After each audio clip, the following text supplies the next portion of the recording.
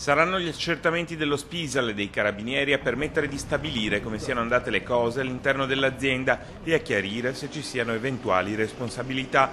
Il bilancio di un incidente all'interno di un'azienda che si occupa di presso fusione a Brendola e di tre operai feriti, nessuno dei quali fortunatamente sarebbe in pericolo di vita.